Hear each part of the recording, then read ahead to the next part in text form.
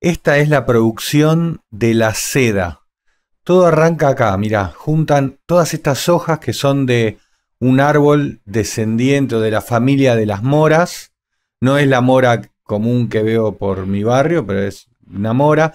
Y todo eso blanco que ves ahí son gusanos de seda, que cuando llegan al estado adulto, digamos, o de larva que ya está por empezar a hacer el, el capullo, los ponen en estos paneles y ahí el, gusano empieza a hacer su, su capullo, ¿viste? Bueno, después agarran esos capullos eh, eh, y lo hierven. Los hierven y bueno, ahí acá es donde típico que me bloquean por esto, pero bueno, están hirviendo los capullos con los gusanos adentro. Después, bueno, empiezan a hacer la seda, deshilachando todos estos capullos que tiene, cada capullo tiene más o menos un kilómetro de seda. Bueno,